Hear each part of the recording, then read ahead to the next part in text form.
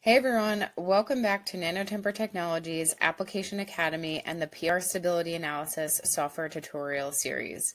Again, I'm Lindsay Dawson, an application specialist with NanoTemper. In this tutorial, we're going to be talking about our key parameters option built into the software. Now, up until this point, we've been able to analyze our individual samples and understand the variation in detail between sample sets. Now let's say we want a way to compare these samples to one another. We know that we can accomplish this by applying our sorting function that's built into the data table that we've covered in our advanced options tutorial. However, let's say that we now want to be able to compare multiple parameters all at one time.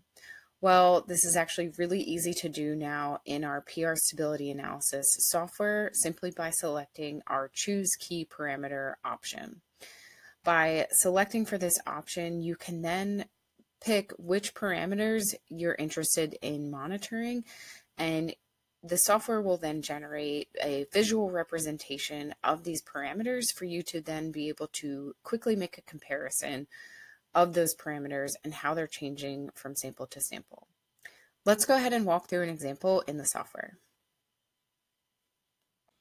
So for this data set, let's say I want to make a comparison between our first inflection point and the onset of aggregation.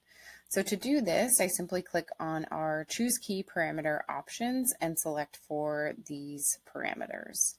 Once I hit apply, we can now see two charts that are displayed directly below our data table, which are plotting the columns of the parameters that we just selected for. Now, to make this comparison even easier, I'm going to go ahead and sort our first inflection point by clicking the sorting function in our data table.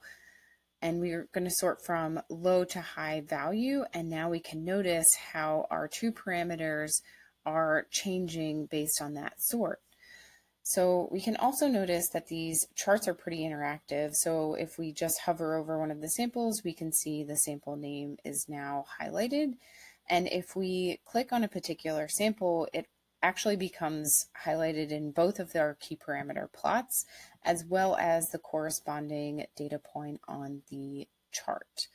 So now we can see where this specific sample lies within both of our key parameters that we've just chosen for our analysis. And this again is to help expedite your analysis of these particular parameters that are of interest to you in your workflow. Lastly, similar to our add region of interest analysis, we also have the ability to create analysis templates for these region or key parameters. To do this, we'd simply select our analysis templates, type in a name for our given key parameter options, and then hit create template. We can then apply these templates to future data sets to then quickly apply these key parameters and allow you to, again, visually sort through and compare these parameters as quickly as possible. So that does it for key parameters. I hope you found this tutorial helpful and please, as always, let us know if you have questions and feel free to join our Explorer community to join your fellow PR users. Thank you.